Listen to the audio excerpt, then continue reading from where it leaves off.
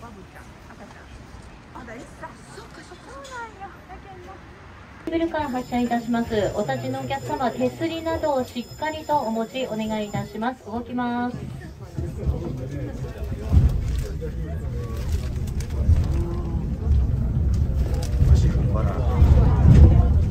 本日は栄冠ケーブルカーにご乗車をい。ただきましてありがとうござい。ます。このケーブルカーは最高勾配傾斜28度。また八瀬駅より比叡駅までの高低差が561メートルあり全国のケーブルカーの中で高低差日本一を誇ります。これより山上ケーブル比叡駅までの全長 1.3km を約9分でご案内してまいります。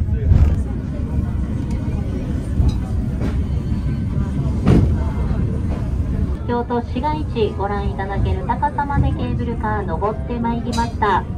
また沿線には色づきましたもみじや楓の大木が続きます。秋が深まり紅葉のピークを迎えますと深紅のもみじトンネルとなる箇所バスを使わずに歩いて延暦寺へ向かわれます場合は山頂駅より登山道をお進みいただき行動エリアまで約30分。また到着ケーブル比叡駅よりのご出発ですと同じく東道エリアまで約40分。乗り継ぎをいただきます。ロープウェイはケーブルカーと比べて小さな乗り物でのご案内となります。ご人数に合わせまして連続運転増便で対応させていただいております。ロープウェイは片道3分少々の乗り物です。2便もしくは3便に分かれてのご案内です。ご了承お願いいたします。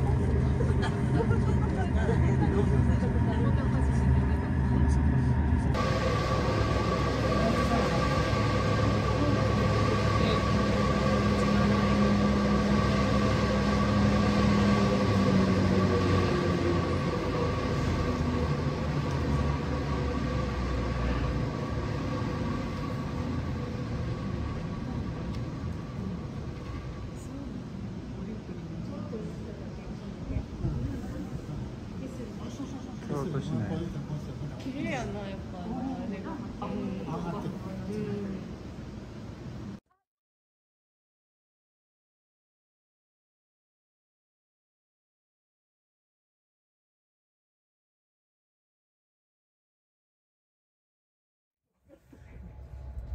どうせやったらお父さんだ入ってき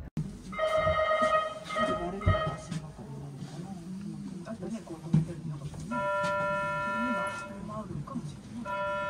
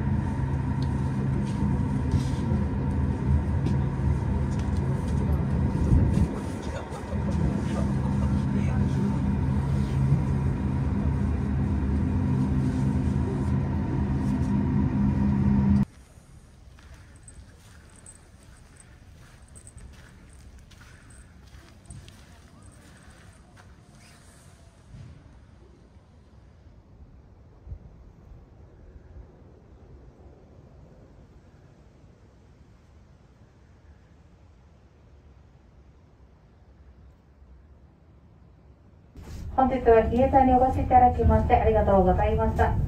ケーブルや定期までのご案内をいたします。宛名楽しみです。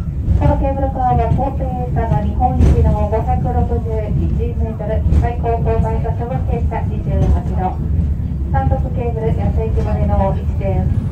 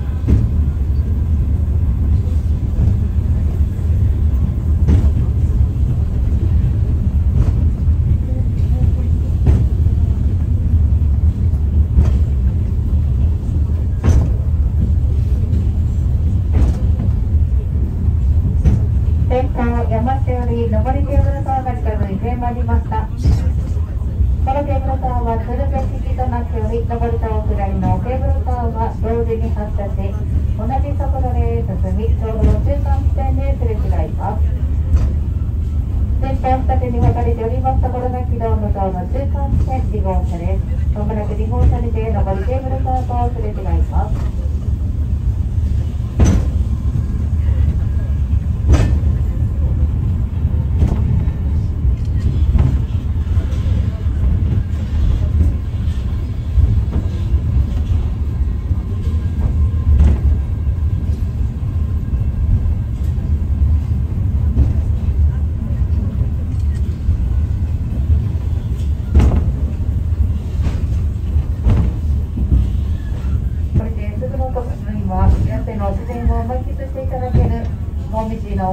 小道海中裏もございますお時間ございましたらぜひお立ち寄りください。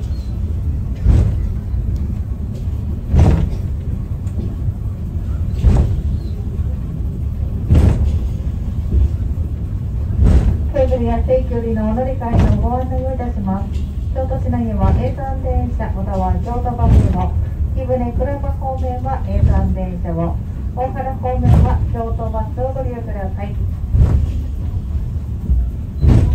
電車をご利用のお客様にご案内いたします。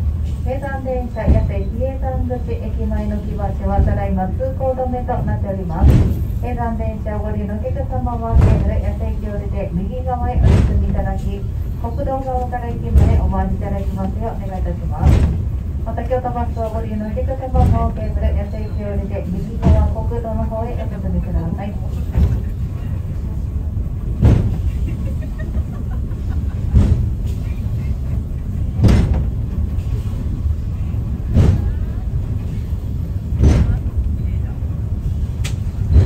まもなくケーブル、野生機に到着いたします。車内全体を自家出しのため、扉が開きますので、座席からお立ちにならないよう、ご来立ちのお客様もお近くの手すりなどをお持ちいただきます